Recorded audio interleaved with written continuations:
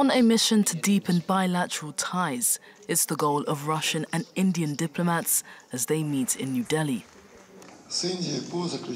We are discussing an agreement with India for free trade between the countries and also mutual investment protection in both countries. I'm sure that this kind of mechanism that guarantees the protection of investments will be very beneficial for both sides. We're also very interested in a quality increase in trade and cooperation. It's the latest sign of cooperation between the two countries. For decades, India has imported military equipment from Russia.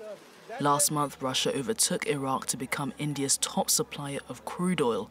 And in November, Moscow was reportedly looking to import more than 500 products, including cars, aircraft, and trains from the South Asian country. These are sectors in Russia that have been hard hit by Western sanctions. While most countries have denounced the Kremlin for its invasion of Ukraine, New Delhi has stopped short of condemning Moscow, calling instead for a peaceful resolution to the war. In fact, economic ties between the two countries have grown since the start of the conflict.